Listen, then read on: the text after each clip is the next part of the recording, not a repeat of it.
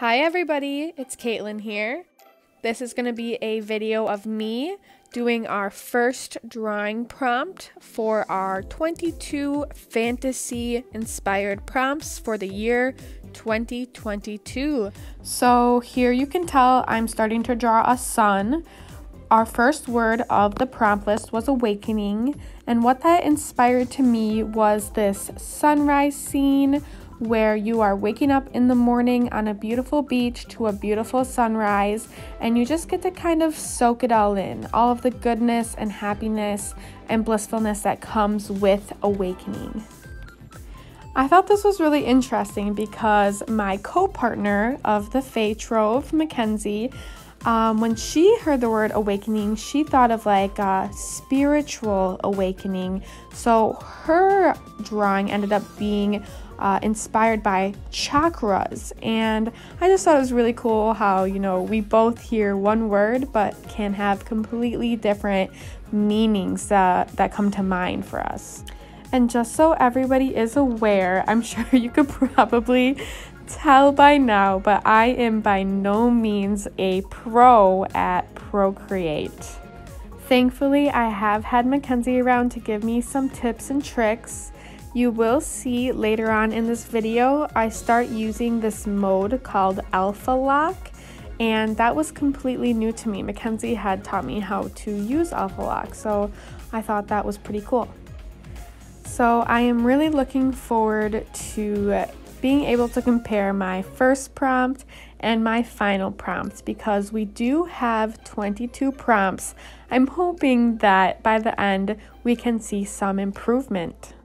But for the time being, I am just going to be making my art as best as possible and putting it out there for other people to see and maybe be inspired by. You know, you don't have to make perfect art um, in order to be allowed to put it on the internet. So I really hope maybe this can get to the right person. And if you are the right person, feel free to join our drawing prompt we have no rules or regulations. If you are not a digital artist, you can do pen and paper, ink, paint, any type of medium that you choose. Um, just please make sure to tag us in your art so that we can see what you guys are doing. We are the Fae Trove across all platforms. We have the same handle, so wherever you decide to post your art, just please make sure to tag us because that's probably the most fun, you know, beyond making the art ourselves is getting to be inspired by you guys. So here there's really not much going on in the video. I think I was having some struggles as you can see right there with operating the platform. But hey, that is okay. All good things come in time. I also wanted to put it out there that if anybody stumbles across this video and has any recommendations of, you know, maybe some tutorials or videos that they found were helpful for their Procreate progress, if you could recommend those maybe down in the comment section or maybe tag us in the videos, I would appreciate it so much. So here I am adding in some leaves and some trees. I really had this idea come to mind of a jungle setting where you're out in the wild, you know, living amongst nature and having this grand awakening. So, this is kind of my idyllic morning if I could, you know, ever go live in the jungle which I do acknowledge could be pretty dangerous, especially for somebody like me who has food allergies. But hey, a girl can dream. Although it is unfortunate that I do have to keep my EpiPen close, I have always been very interested in homesteading, and one of my greatest goals in life is to be able to have my own self sustaining food forest. And I would love to do that somewhere in the tropics, in the jungle, Oh my goodness, I forgot about this part. So, this is really funny because I cannot draw people um, even more than I cannot draw in general. So, you might have caught there that I started with a black and white stick figure and then went over with this body shape here for the woman. Now, I wasn't trying to be profane or anything by drawing her nude, but I did just think that it would capture this sense of freeness that I find myself wishing for in my daily life. But I can't lie, I did giggle a little bit when I had to draw the uh, shapeliness of the behind. You know, that, that got a good cackle out of me. oh, and here I am adding some fluff. I was thinking some wildlife would spice things up a little bit, so I put a shark in the water. Um, that's okay because I am not good at swimming anyways. And then um, I will go on to put little crab on the land too, which I just thought was so cute. You know, while we're on the topic of not being able to swim, let me tell you something really funny. So, I grew up with a pool in my backyard, and it was a relatively deep pool, uh, probably like five, six feet in the middle.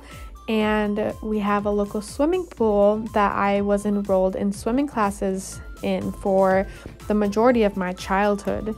And I was once a pretty efficient swimmer. But then, around the age of 14, I started taking gymnastics classes and I gained a lot of muscle mass and found swimming became very difficult, even for somebody who was so athletic. Um, just staying afloat became even more of a struggle than it was when I was younger.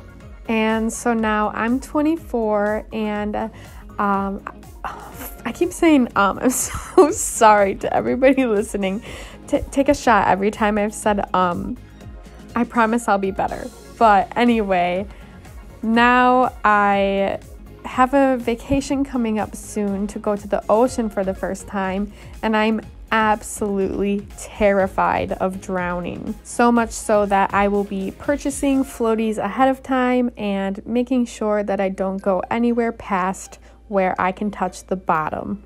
But no need to worry, my boyfriend is coming along on the trip with me, and he is a very strong swimmer. Actually, he was the captain of his swim team his freshman year in high school. He likes to remind me, so I know that if I go down, uh, he will come to my rescue.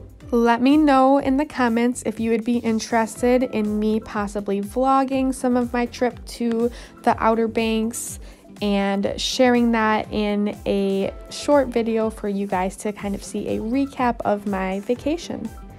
If enough people want to see something like that, I think I could try to put it together. Uh, it may be more difficult than voicing over a drawing like this, but I am looking to grow my skills when it comes to video making, vlogging, art, and just improving myself as a whole. So yeah, let me know.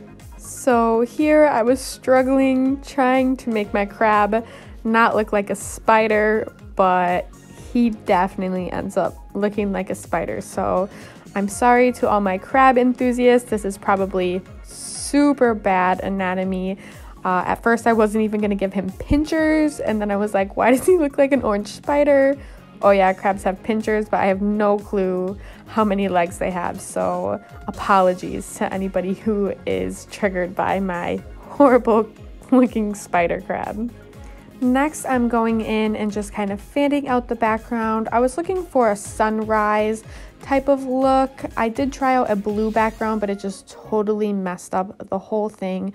So I just wanted to fade a little bit of orange in there just to give it more of a sunset hue. And here I am building the sand back in, just making the, sure the orange looks okay behind it. Um, I will take that ridiculous face off the sun. I decided to not go with that uh, because I wasn't trying to be profane or make any jokes about this awakening prompt because I do think, oh God, I am sorry. I'm just so immature. I need to grow up. Anywho, what am I doing here? Oh, Mackenzie told me I should put some reflection from the sun on the leaves, so I am just messing around with my charcoals, and that is it. And you are allowed to laugh as long as you make sure you subscribe, ring the bell, follow us on Instagram, TikTok, Etsy, and we'll see you in the next one.